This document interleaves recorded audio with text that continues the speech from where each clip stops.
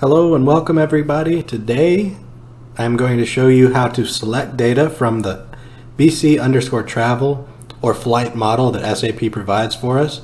If you watch my previous video, I showed you how that we can go ahead and create data in this flight model.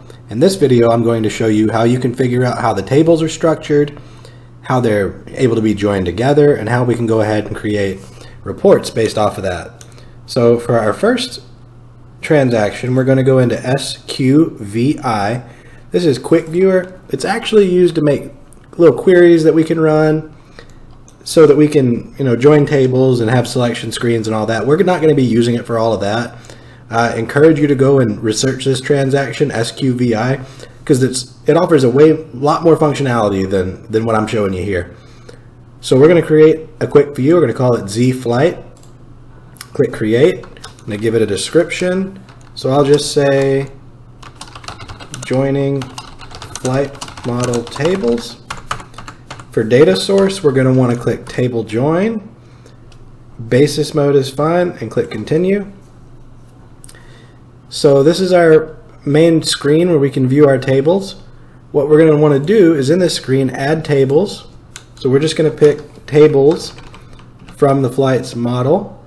So we're going to do S flight, which again is our flight table. We're going to insert another table. We'll do SPFLI, which is our flight schedule. And the reason I use SQVI is because say I know nothing about this data model, and I know I need you know a field from this table and a field from this table and I want to see if I can join those tables for a, a SQL query. When I add these tables here in SQVI, it'll show me which key fields I can join these tables on to find my data. So let's add another table and we'll look a little bit further at it. So let's say we want to look at bookings. So again, I can go ahead and join on these two fields.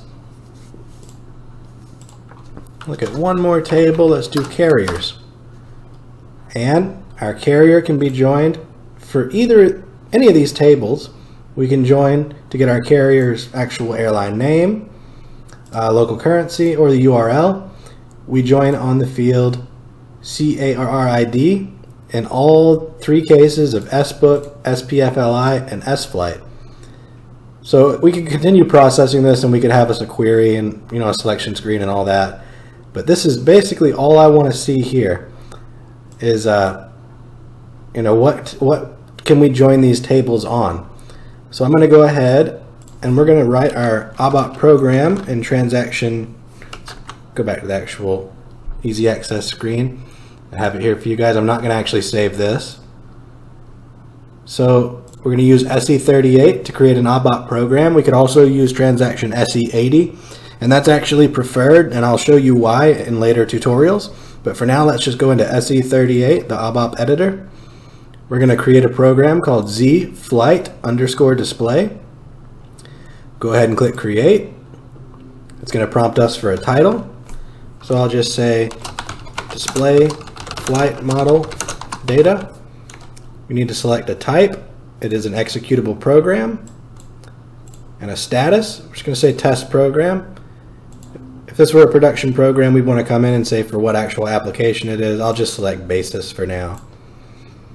We're not going to transport this to any other system, so we'll click local object.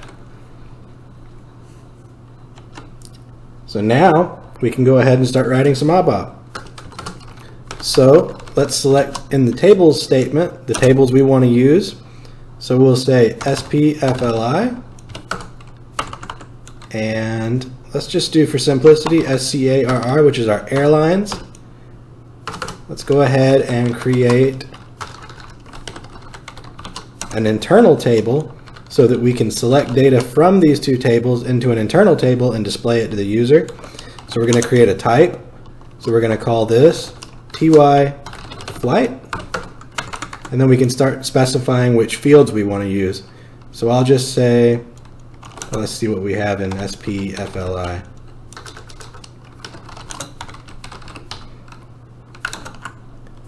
So let's just go ahead and do, uh, let's see. Let's go ahead and do our carrier ID. And I don't use these tables every day. I, I, these are sample tables, so I'm going to have to remind myself all the fields here that are available to use. And uh, one thing, guys, you see how I'm going ahead and selecting this table. If I want to see the fields in that table, when I use this this dash, this minus sign, I can do control and space, and it'll show me the fields, and I can go ahead and select that from the list. So we'll just do connection ID. Um, let's do it's country from. Country FR. So let's just name it the same. And then we'll do country 2.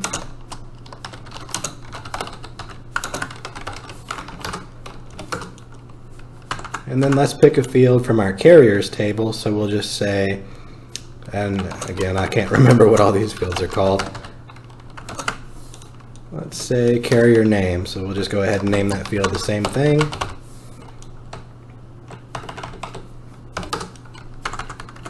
And that'll be the end of our flight type.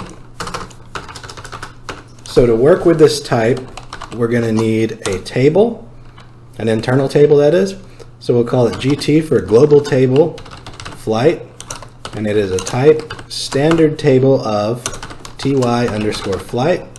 And then in case we need it, let's create a structure or a work area so we can actually work with this GS flight, global structure flight, and it's going to be a type of ty underscore flight. So now we're going to go ahead and we're just going to start in the initialization event. We're gonna, just going to say, okay, we're say select, and then we're going to do table aliases, so just star for now, from, and we'll do our join that we saw earlier from our SQVI transaction, from SPFLI as I, inner join, SC, SCARR as R on, and then our join criteria that we saw earlier, R underscore car ID equals I car ID and R underscore connection ID equals I connection ID into table let's do into corresponding fields of table GT flight. And then if we had a where clause here, we could add it, you know, here, but we're just going to select everything in there. There's not a ton in there, so we'll go ahead and just select everything, which is bad practice. Don't do that, but it's what we're going to do for this video. So we're going to select I, SP, or excuse me, C-A-R-I-D, I, and this, this I and the tilde right here is saying get it from SPFLI, which was defined an alias for as I. When you do a table join, you have to define an alias so you know, so uh, SAP knows which table you're trying to retrieve that field from. So we do I con ID, I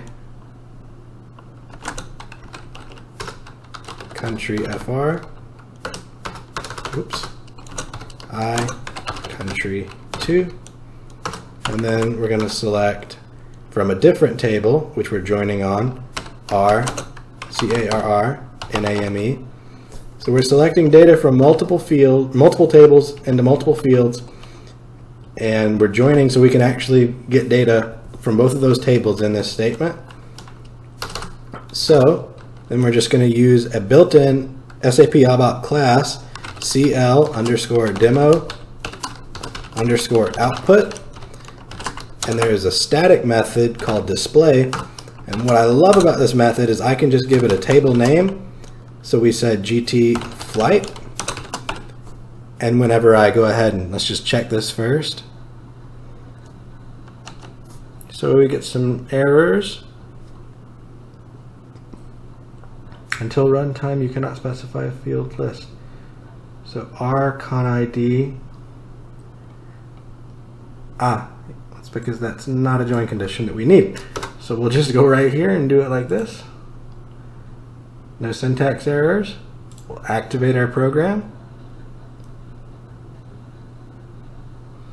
We'll do direct processing. And what this CL demo output static method display does is it'll just display that GT flight, our internal table of type TY flight, where we've selected data from both SPFLI and SCARR. It'll display that in a pop-up window so we can view it. It's, it's more for, for testing purposes. I, I would never use that in a production program. I would actually create an ALV grid or you know some sort of display structure like that. But since we're go ahead, we've activated our program, we can go ahead and do direct processing. And we can see we, we're getting our carrier ID, connection ID, country from, and country to from table SPFLI. And we've joined it on a field from SCARR, which is the full text of the actual carrier name or the airline. So that just gives you a, you know, a brief overview of how you're going to go ahead and start working with the flights model. So now you should be able to, you know, research what table in the flights model exists. You should be able to go into SQVI or do some additional research and see what fields we can join that on and we'll be able to create reports based off of that flight model. So again, you don't have to you know, you don't need a, a fully functional SAP system with your different models, your modules, MM, PP, SD, all of that, FI. You can use this flight model that's provided in the trial version of the SAP system. So as always, guys, thank you so much for watching. If you have any questions, you get stuck anywhere, or you find something that I've messed up and I've said wrong in this video, please leave me a comment. If you like the video, leave me a like. And as always, my email address is going to be in the video description. Please feel free to reach out. I don't bite, so for any questions, send me an email. Thanks for watching, guys. Until next time.